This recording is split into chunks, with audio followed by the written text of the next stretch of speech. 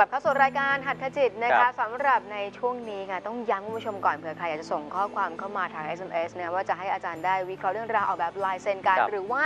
อยากจะบอกรักนะผ่านข้อความกันเนี่ยผ่านเป็นสื่อรายการก็ได้นะ พิมพ์ HJ ค่ะตามด้วยนะคะ ชื่อนามสกุลรวมไปถึงข้อความ ส่งมาที่ 422-1606 ตรงนี้เลยครับท่านผู้ชมได้อย่างที่บอกไว้นะคะว่าเราจะมีการประมวลภาพนะในเรื่องของโครงการมิตรและเข้ามหากุศลคืนชีวิต สังเกตค่ะว่ารอบปีนี้หลายครอบครัวแล้วนะน้องมหวลายยครอบครัวค่ะสี่สิบป่าปะตอนนี้ห้าสิบเลยน้องมวยจำแม่นนะจำอาจารย์ยังจำว่าสี่สิบป่าเพราะว่าจะลงเราเหมือนไม่ได้ไปไหนเลยแต่จริงๆแล้วเดินทางตลอดใช่ลงพื้นค่ะที่แล้วเราบางทีเนี่ยบางครอบครัวไปช่วยถึง 3 ครั้งด้วยกัน อืมบางครอบครัวก็ช่วยครั้งเดียวค่ะนะแล้วแต่ส่วนที่เรามีโอกาสที่จะได้ช่วยส่งเสริมแล้วก็ความจำเป็น ค่ะนะครับนะเหมือนอย่างครอบครัวล่าสุดเนี่ยขครัอบ งน้องซันน้องสันนั้นนะคะ ที่น้องอากินข้าวเปลือกไปแล้วติดอยู่ในปอดแล้วคุณหมอเขาบอกว่าน้องเนี่ยจะอยู่ได้ไม่ถึง 5 เดือน อืม ผมเองนะพอทราบข่าวนั้นก็ลงไปตั้งแต่เรื่องของการช่วยเบื้องต้นอ่าช่วยเรื่องของการติดตั้งแอร์ค่ะ เพราะน้องต้องใช้อากาศบริสุทธิ์ แต่ที่สำคัญอย่างนั้นท่านผู้ชมต้องพาไปหาหมอที่โรงพยาบาลแล้วหมอก็อ่าวินิจฉัยว่าน้องเนี่ยคุณแม่ต้องทำใจนะค่ะมีโอกาสรอดอีกนะอ่าห้าหกเดือนอะไรประมาณเนี้ยนะครับอืมอืมเห็นแล้วน่าสงสารคุณแม่จริงใช่ค่ะๆความรอคอยก็คงรอคอยการช่วยเหลือข้างกระทั่งว่าต้องหาอะไรมาประมูล เพื่อไปอ๋อเยียวยาดูแลรักษาน้องอะครับเพราะว่าคุณแม่ใช่ว่าจะมีรายได้อืมนะครับเนี่ยคือแล้วก็นอกจากนั้นก็ยังมีอีกหลายครอบครัวนะที่ครับคุณแม่เองเนี่ย 24 ชั่วโมง ดูแลลูกม คือไม่ใช่ได้หลับไม่ได้นอนเลยแล้วได้มีโอกาสได้พูดคุยหลายครอบครัวที่เป็นคุณแม่เนี่ยก็บอกว่าไม่ว่าจะเกิดอะไรขึ้นก็แล้ว แต่จะขอดูแลลูกให้ดีที่สุด ส่วนใหญ่จะเห็นรอยยิ้มของแม่ ใช่ค่ะ เพราะว่าสายใยสายเยื่อใยสายรักเนี่ยนะครับ อยู่และผูกพันตลอดแม่ต้องอุ้ม อุปถัมภ์ค้ำชูดูแลกันตั้งแต่อึชีนะกินดื่มใช่เจาะช่วงใช่ท้องใส่สายยางเนี่ยโอ้ตรงเตงโยงยางไปหมดนะฮะคือเป็นสิ่งที่ โอ้เกินกำลังไหมนะถึงว่าเกินกำลังมนุษย์ธรรมดา แต่ว่าคำว่า แม่เนี่ยเหนือเป็นยอดมนุษย์จริงใช่ค่ะ ๆนะครับ คือคุณแม่นี่คือไม่ว่าจะเป็นในเรื่องของความรักกำลังเนี่ยดูแลลูคกรับ ไม่ว่าจะกี่ชั่วโมงก็แล้วแต่เนี่ยยอมอดหลับอดนอน อยู่ดูแลได้จริงๆเดี๋ยวเราไปชมการประมวลภาพดีกว่านะกับโครงการมิล a เข้ามหากุศลคืนชีวิตวันนี้ต่อชีวิตต่อลมหายใจให้กับครอบครัวไหนบ้างไปชมภาพเลยค่ะ เชิญครับ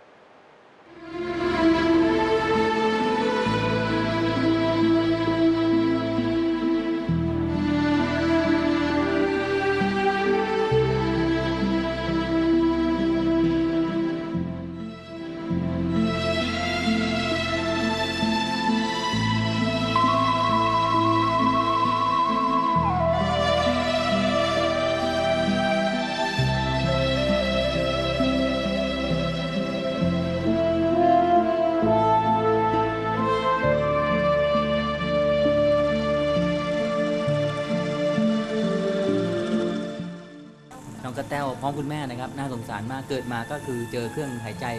แบบนี้เลยนะคุณแม่เนาะครับตั้งแต่เล็ก ๆ เลยกี่เดือนฮะคุณแม่ถึงจะรับรู้ว่าน้องเป็นอย่างนี้แล้วครับ ก็คือน้องเนี่ยต้องไปอยู่ใน ICU 8 เดือน ถ้าอุปกรณ์ที่น้องที่ช่วยเหลือน้องเนี่ยค่ะอืมหนูกู้มา6 0 0 0 0 0ใช้จ่ายไปกับน้อง 5 0 0 0 0 0แล้วมีหน่วยงานได้เข้ามาสนับสนุนช่วยเหลือไหมก็มีครั้งแรกคือคุณบินเขาเขาไปเยี่ยมที่โรงพยาบาล ก็เขาให้เงิน ไว้ช่วยเหลือน้องสองหมื่นแล้วทีนี้มีพี่ๆเขาช่วยที่เขาเอาเลขที่บัญชีไปอะค่ะ รวมกับของคุณบินที่บริจาคมาได้แสนสี่แต่หนูก็เอามาใช้จ่ายเกี่ยวกับลูกทั้งหมดใช้ตลอดเลยใช่ค่ะ แล้วเวลาถ่ายเวลาเจาะทำไงอะหมายถึงว่าเวลาจะเปลี่ยนอาหารให้น้องเขากินหรือว่าไงคุณแม่เวลาเปลี่ยนหนูทำเองทุกอย่างค่ะ เหรอ เพราะที่โรงพยาบาลหนูก็ไม่ไม่เข้าใจเหมือนกันว่าทำไมคุณหมอเขาทำแล้วแล้วเลย คือเจาะคออย่างเงี้ยหลอดคอก็ไม่มีเปลี่ยนให้น้อง เหรอ ปกติลูกพี่ชายก็เป็นนะคะเหรอคือถ่ายทอดทางพันธุกรรม อ๋อ ลูกพี่ชายก็เป็นตอนนี้ 7 ปีละอืมอืมวันนั้นเขาก็มาเยี่ยมคุณปู่คุณย่าเขาที่ที่บ้านนี่แหละค่ะ เพราะเป็นญาติกันเป็นพี่น้องกันอืมตอนนี้ใช่ค่ะ เป็นอย่างนี้เหมือนกัน ก็คือต้องอยู่เพื่อด้วยเอ่ออยู่ด้วยเครื่องอย่างเดียวเลอยู่ได้ด้วยเครื่องอย่างเดียวค่ะ ถ้าไม่มีเครื่องน้องก็อยู่ไม่ได้ น่าสงสารไม่รู้จะทำยังไงเนาะค่ะหนูก็ดูแลเขาไป เพราะลูกเนาะพี่ยังไงก็ทิ้งเขาไม่ได้ เคยอันนี้เราเคยทำเลยใช่ไหมใช่ค่ะแต่เราเองยังไม่กล้าทำเนื้อละเอียดมากทำเป็นเลยปกนะติ อันนี้อิ่มยังหรือลองลองให้ก็คือ ปวดได้ไหมก็คือคุณแม่ทำได้ไหมทำได้ค่ะ เราจะดูว่าอาหารในท้องน้องหมดหรือยังจะให้จะให้มื้อต่อไปเราก็ดึงดึงจากสลิงดูนะคะ ว่าอยากแสดงว่ามีอาหารอยู่ในกระเพาะยังย่อยไม่หมดก็คือต้องรอให้น้องย่อยหมดก่อนถึงถึงจะถึงจะให้มื้อต่อไป น้องเขามีเรื่องระบบการย่อยอะค่ะเขาจะรับอาหารได้ช้า เราต้องได้ใช้เครื่องฟีดฟีดอาหารเป็นให้ปกติค่ะ หนูเลี้ยงคู่กันใช่ไหมคะ เวลาเขาอาบน้ำอย่างเงี้ย แขนขาเขาคนนึงจะดิ้นยกยกขึ้นยกลงแต่ทำไมคนนึงนอนนิ่งๆ หนูก็เอะใจตั้งแต่คลอดออกมาเลย ตั้งแต่คลอดออกมาหนูไม่เคยสบายใจเลยค่ะว่าเครื่องไปนะเพราะคนหนึ่งทำไมนอนนิ่ง ๆ อยู่เฉยๆทำไมอีกคนทำไมขยับ หนูก็ผิดสังเกตและคิดอยู่ในใจว่า เอ๊ะ มันจะถ่ายทอดทางพันธุกรรมเหมือนเหมือนลูกพี่ชายหรือเปล่า ก็พาลูกไปเจาะเลือดไปวันตรนี้วจต้องผ่อนธนาคารอยู่ใช่ค่ะ เดืเดืออนนละละ4,500สี่พันห้าเดือนสี่พันห้านะโอ้ ค่าไฟที่บ้านสามพันหนูก็แบบหนักเหมือนกันงอยู่ต้องอยู่ห้องแอร์เย็นๆใช่ค่ะ ไม่งั้นมันร้อนก็มีปัญหาใช่ค่ะ อืมก็จะเป็น แล้วตัวอาบน้ำทำไมเนี่ยเช็ดตัวอาบน้ำก็ทำบนเตียงนี่แหละค่ะ ก็คือเราก็ยกน้องมาวางตรงนี้ แล้วเราก็ทำตรงนี้เสร็จแล้วก็อุ้มมาตรงนี้ อืมต้องเอาคือเอาเอาสายมาด้วยตลอด ต้องมีเบอกอีกถาเบาะมคุณแม่คำหนึ่งคุณแม่รักน้องไหมรักมากค่ะพี่รักจนแบบว่า พูดแล้วจะร้องไห้ค่ะพี่ทิ้งเขาไม่ได้หรอกค่ะถึงเขาเกิดมาไม่แข็งแรงเหรอซึ่ก็ต้องดูแลเขาให้ดีที่สุดเรานั่นแหละลำบาค่ะกกันทั้งคู่เนาะใช่ค่ะอืมพ่อเขาลำบากกว่าหนูหนูเป็นหนูมีหน้าที่ดูแลเขามีหน้าที่หาเลี้ยงลูกพอเห็นน้องปุ๊บเนี่ยคนนี้ต้องมาช่วยพอดีมาถวายพระที่ร้อยเอ็ดนะยังแต่งชุดเจ้าพิธีชุดขาวนี่อยู่เลยครับหนูก็เห็นอาจารย์เคยเคยเห็นในทีวีแล้วครับในครอบครัวอ๋อแล้วเคยเคยเคยรู้จักอาจารย์อยู่แล้วฮะเคยเคยคิดมาว่าอาจารย์สักวันหนึ่งก็มาเจอกันที่นี่ ไม่เคยคิดไม่เคยฝันแต่ แต่ดีใจมากเลยค่ะ เห็นแค่เห็นรถมาหนูก็ปลื้มปลื้มมากที่ค่ะว่าอาจารย์จะถามมาช่วยใช่ค่ะ เขาเคยเห็นในในในชีวิตที่เราเคยเห็นใช่ค่ะ ดีไหมวงการเนี้ยคิดว่าดีไหม ดีค่ะ ดีมากครับ ๆ แค่หนูเห็นอาจารย์ติดติดต่อกลับมาเห็นรถไปรับน้ำตาหนูก็จะไหลมาตั้งแต่ โอ้โหเยนั่นนะคะพูดตรงๆนี่นะพี่เขาเคยดูรายการด้วยผมไม่นึกว่าคนที่เคยดูรายการจะจะเจอจะเจอกันเนาะแต่ก็เป็นแฟนรายการใครอยู่ก็แล้วแต่จะไม่แล้วก็ไม่เคยขอความช่วยเหลือจากรายการไปเลยอ่า เราจะเป็นกำลังใจนะฮะ โดยโครงการฟื้นคืนชีวิตครอบครัวนี้ฮะ เราถือว่าถึงแม้จะเป็นแฟนรายการหรือว่าไม่ได้ขอความช่วยเหลือมา แต่เมื่อพบเห็นเนี่ยผมเหตุการณ์ซึ่งก็หน้าแล้วต้องช่วย วันนี้นะฮะเราเงินส่วนหนึ่งเนี่ยมามอบให้ในโครงการฟื้นชีวิตนะฮะน้อมถวายเป็นพระราชกุศลพระบาทสมเด็จพระเจ้าอยู่หัว เป็นเงินที่เราได้ครอบครูมา ได้สร้างพระผู้บริหารจอมราชันมา พร้อมกับน้องๆทีมงานมิราเคิลแล้วก็แฟนรายการด้วยนะครับ ขอบคุณแฟนรายการที่ได้ไหมฮะขอบคุณมากๆนะคะที่ ที่ให้ความช่วยเหลือขอบคุณอาจารย์มาก ๆ ที่มาช่วยเหลือเมตตาน้องนะคะ และครอบครัวเรารู้สึกซาบซึ้งมาก ๆ ค่ะ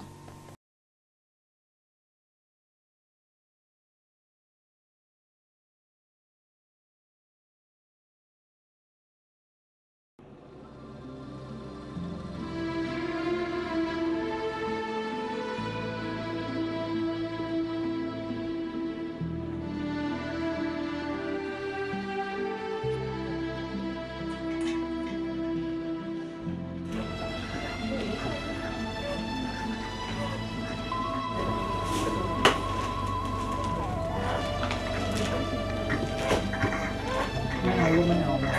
ก็ตกใจแล้วนะก็กลัวแล้วหมอว่าไง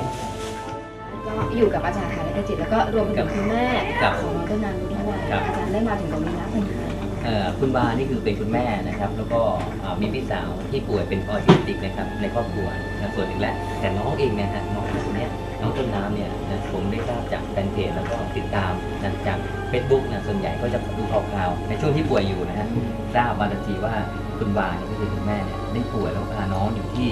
ICU ของโรงพยาบาลทุกรัฐนะครับหลังจากนั้นเราก็ติดตามรอคุณแม่ออกจากอ่าโรงพยาบาลเพื่อมาเยียวยาดูแลค่ารักษาในการต่อไป น้องตอนนี้นะฮะน้องเจาะคอไม่ได้นะงั้นรายละเอียดต่างๆ ต้องถามคุณแม่แล้วเป็นยังไงมาไงต้องเมื่อไรครับเชิญครับแรกต้องคุยคุณแม่เลยนะคะตอนนี้น้องเป็นยังไงบ้างคะ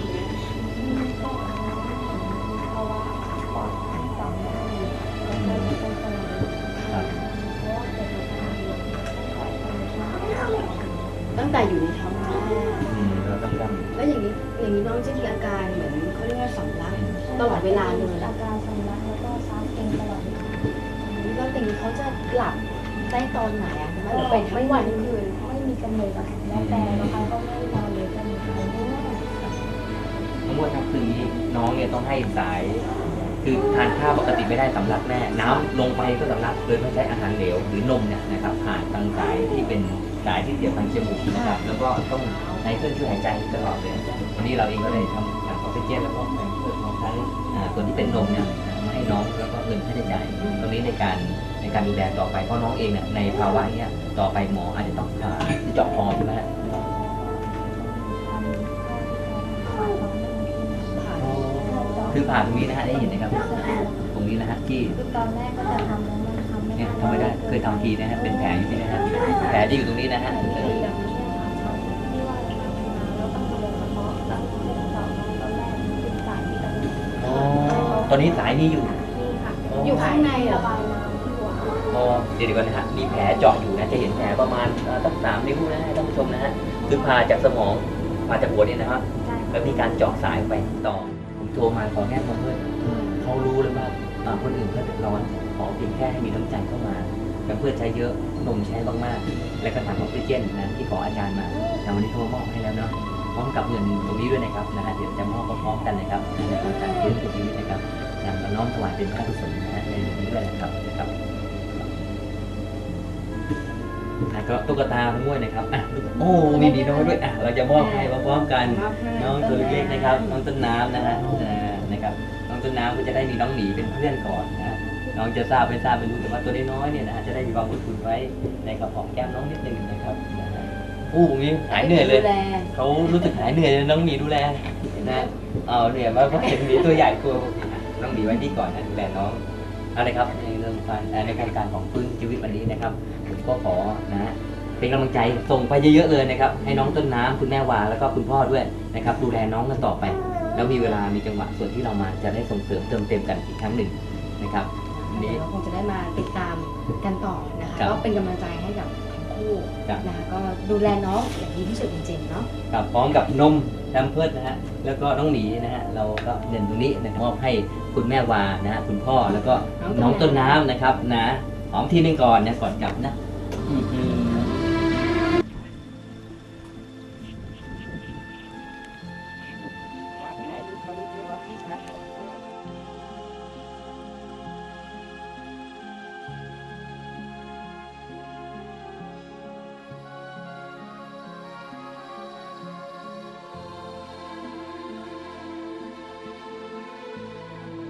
คุณแม่ครับอ่าน้องกันอายุกี่ขวบแล้วครับ ตอนนี้สองขวบแปดเดือนสองขวบแปดเดือนแล้วนะฮะป่วยเป็นโรคแล้วนะครับ ก็น้องตอนนี้ป่วยตั้งตอนแรกเลยก็กินข้าวเปลือกเข้าไปอะค่ะกินข้าวเปลือกนะกินเล่นๆนะฮะไม่ใช่ค่ะเหมือนกับว่าคุณตาเขาเลี้ยงไก่อยู่ด้วยแล้วทีนี้เอาน้องอะไปเล่นที่ดินครับครับค่ะแล้วพอดีอ่ามือน้องอะไปแตะครับโดนข้าวเปลือกติดนิ้ว แล้วอืมน้องอะเขาคลานมากินนมครับ แล้วทีนี้มันกินไปพร้อมกันเลยอ๋อแล้วทีนี้น้องเขาไออยู่สามสี่ครั้งแล้วครับเส้นเลือด เหมือนกับว่าเขาไอแล้วแบบเขียวหน้าเขียวหมดเลย ครับแล้วก็ขาดออกซิเจนไป 15 นาที สิบห้านาที ใช่แล้วหลังจากนั้นก็พาไปหาคุณหหามอ คุณหมอที่โรงพยาบาลชะอำจากที่ครันี่บไปหาคุณหมอก็ประมาณ 10 10 10 นาทีถึงครับ10 15นาที อืมคุณหมอก็บอกว่าน้องขาดออกซิเจนแล้ว อืมณตอนนี้คือคือสภาพร่างกายตอนเนี้ยคือน้องต้องทานอาหารทางสายยางใช่ค่ะอ่าคุณหมอเป็นเป็นช่วงท้องเลยครับ อะไรนะคะครับหมายถึงว่าเจาะช่วงท้องหน้าท้ช่อวงงนี่ช่วงหน้าท้องนี่ค่ะอืมครับ คุณหมอเจาะให้เพราะว่าให้กินทางนี้ดีกว่า ถ้าว่ากินทางทางสายทางปากอืม ทางจมูกอีกก็กลัวจะสำลักขึ้นมาอีกครับน้องกี่ขวบแล้วเนะครับอ่าสองขวบแปดเดือน สองขวบก็ถือว่าเด็กโตนะฮะนะแต่น้ำหนักนี่รู้สึกว่าท่านผู้ชมลงนะที่เห็นเนี่ยลงมาจาก10 10เมื่อก่อนนี้10โลที่เจ็บอยู่ก็ตอนนี้เหลือ7โลจะโลกว่าแล้วโอ้โหน่าสงสารมากแล้วเอ่อก็ช่วยตัวเองไม่ได้เลยเนาะวันนี้ไม่ค่ะ แล้วเวลาทานข้าวทานอะไรป้อนได้ไหมก็ไม่ได้เลย คุณแม่ทำไงฮะก็ต้องเป็นใช้ ทางสายอย่างเดียวต้องเป็นชงนมอืมสลับกับอาอาหารปั่นที่คุณหมอสอนหนูมา แล้วก็อืมเอามาผสมมีผักมีไข่มีส่วนผสมเยอะค่ะ นะฮะ แล้วก็เอามามามามาใส่ใส่ใส่ให้น้องทานอืมค่ะ นะครับคือประสบเหตุไปแล้วคุณแม่นะคุณแม่ตกใจไหมฮะในช่วงที่น้องเขาเขาเจอวิกฤตอย่างนี้แรงๆครับในชีวิต ตอนนั้นก็ตกใจมาก แล้วก็ครับพอไปถึงโรงพยาบาลคุณหมอบอกอย่างเงี้ยอืมแล้วก็น้องโคม่าขึ้นมาอีกที่ห้องอ๋อห้องห้องไอซียูครับหนูก็นอนคนละห้องกันร้องเลย นอนห้องฉุกเฉินก็นะฮะ ไม่รู้เรื่องเหมือนกันตัวหนูเองอืมเรากังวลมากเมื่อตอนนั้นนะในสภาวะกังวที่ลน้องค่ะกังวลว่าน้องคงไม่รอดมอะไรอย่างเงี้ยอยากให้เขารอด แต่ครับ ถ้ารอดกลับมาหนูก็ไม่รู้ว่าจะเป็นสภาพนี้ อืมแต่ถ้ารู้หนูก็คงปล่อยน้อง อ๋อเพราะคุณหมอบอกว่า น่าจะปล่อยให้เขาไปตั้งแต่ทีแรกแต่ความรู้สึกของเราคือไม่รู้เราต้องการให้ลูกเราคืนคืนมาตอนนั้น ณตรงนั้น แต่คุณหมอมาบอกทีหลังว่า เออประมาณว่าฟื้นกลับมาแล้วก็ได้แค่นี้คุณแม่ครับในโครงการฟื้นคืนชีวิตของครอบครัวเมียแล้วก็จะแนลนะฮะแฟนรายการทุกท่านเนี่ยนะพร้อมทั้งอ่าบริษัทฐานธรรมเราก็ได้มานำมาสิ่งของนะแล้วก็เงินที่จะมาช่วยน้องเขาเพื่อประยุงในค่ารักษา คุณแม่เองก็มีความจำเป็นในเรื่องของของค่าใช้จ่ายนะครับสูงไหมฮะทุกวันนี้คุณแม่ได้ทำงานไหมไม่ได้ทำนะครั บบอกตรงๆเลยว่าแม่ก็ไม่ได้ทำแล้วก็อืมบอกตรงๆว่าแม่มีลูกทั้งหมดห้าคน ห้าคน ค่ะก็ถือว่าเรามีลูกเยอะแหละค่ะแล้วตัวเล็กนอนอยู่อ๋อในนอนอยู่ที่เปรย์นะฮะคนนี่นี่ก็คือยังไม่ไม่สุดท้อง อันนึงคือสุดท้อง ในโครงการฟื้นชีวิตนะฮะวันนี้ผมอาจารย์รัฐาก็ได้นำหนังเงินนะฮะและอุปกรณ์มาให้คุณแม่ ยังไงก็ตามขอให้เป็นกำลังใจ แล้วก็ให้คุณแม่ขอบคุณแฟนๆรายการด้วยนะครับ ก็ก็ขอบคุณมากนะคะ แฟนรายการของอาจารย์ทุกท่าน ครับแล้วก็ ทุกท่านที่เข้ามาช่วยเหลือน้องจุดนี้ ไม่ว่าจะเป็นของใช้หรือเงินนะคะ หนูกับครอบครัวแล้วก็น้องสันขอบคุณมากจริง ๆ ค่ะ ขอบคุณจริง ๆ ก็ได้ทุกคนที่เข้ามาช่วยเหลือตรงนี้ ถ้าไม่ได้ทุกคนหนูก็คงจะครับ แย่แย่แย่ก็คงก็ก็แย่อย่างนี้ยจากที่ว่าให้กันมาก็คงจะดีขึ้นมานิดนึงได้ช่วยอืมชีวิตน้องขึ้นไปไปอีก ก็พูดตรงๆ พูดจากใจจริง คืออาอยากให้อาจารย์มาอืมอยากให้มาแต่ก็คิดกังวลว่าอาจารย์จะมาไหม ครับค่ะ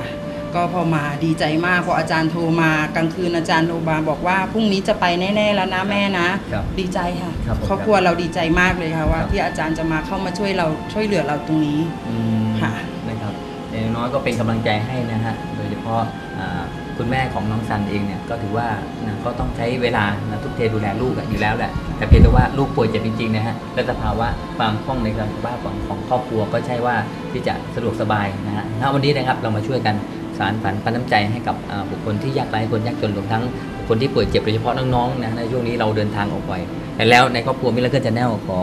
นะฮะเป็นกำลังใจให้คุณแม่แล้วก็ครอบครัวแล้วก็น้องซันด้วยเนาะหายเร็วๆนะลูกเนาะค่ะค่ะนะครับค่ะขอบคุณมากค่ะครับขอบผมคุณครับทุกท่านค่ะขอบ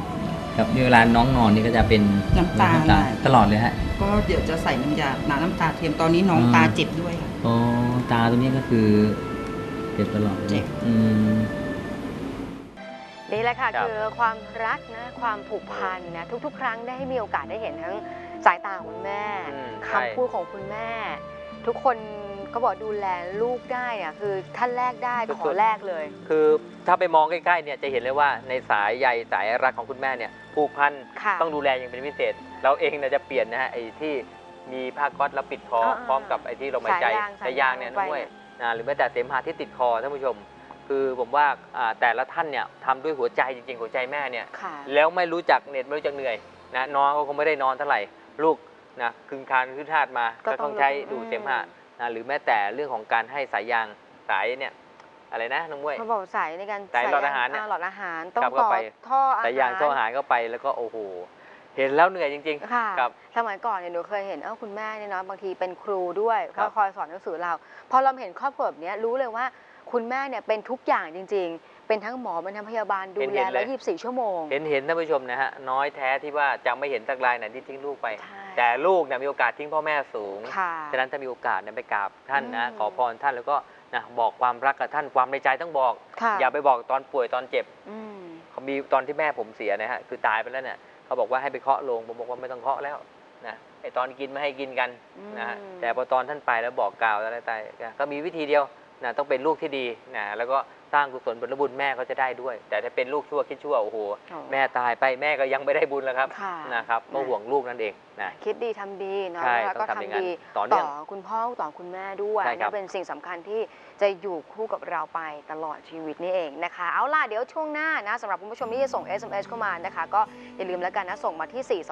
4221606 จะให้อาจารย์วิเคราะห์เรื่องราวออกแบครับบ ลายเซ็น หรือว่านะคะจะส่งข้อความนะบอกรักแม่กันก็ได้นะคะ แล้วก็ย้ำด้วยสำหรับใครที่อยากจะร่วมกันนะในการที่จะร่วมบุญกับโครงการนี้และเข้ามหากุศลคืนชีวิต ซึ่งเราเองยังคงลงพื้นที่อย่างต่อเนื่องนะคะก็ยังไม่ได้เขายังไม่ได้มีโอกาสเนาะได้ครับนำให้คุณผู้ชมได้ชมกันยังมีอีกหลายร้อยชีวิตค่ะ ที่เขารอคอยกันอยู่นะก็สามารถที่จะร่วมบุญกันได้ ตามเลขบัญชีด้านหน้านี้ หรือว่าใครที่ได้ยินได้ฟังบุคคลที่ตกทุกข์ได้ยากนะคะ ก็บอกบอกกล่าวเข้ามาได้ ทาง Miracle Channel นี่เองส่งเป็นจดหมายเข้ามาก็ได้ แล้วก็ครับ อย่าลืมเบอร์ติดต่อกลับด้วยนะคะ และถ้าเกิดว่าไปได้ยินบุคคลอื่นๆ แอบอ้าง ครับ นะว่ามาจากมิราเคิลนะมาขอเรียอะไราย ตรงนี้ต้องบอกว่าเราไม่ได้มีหน่วยงานเคลื่อนที่ไปไหนเนาะ ใช่ฉะนั้นที่นี่นะระฮะ มัดระวังด้วยนะคะ ก็ติดตามสอบถามกันทาง Facebook Fanpage ได้ หรือว่าโทรเข้ามาสอบถามทีมงานกันได้ ครับเอาล่ะ ตอนนี้พักกันสักครู่ค่ะ ครับผม